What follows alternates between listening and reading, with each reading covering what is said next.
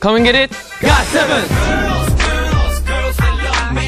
GOT7 tells you five steps of Dancing 9 Global Qualifying Round. Do you guys know how to apply to Dancing 9 out of Korea? Step one, Film yourself dancing. step two, Visit dancing9.com. step three, Upload your dancing videos. step four, If you pass, get free flight tickets. step five. If you win, you get $500,000.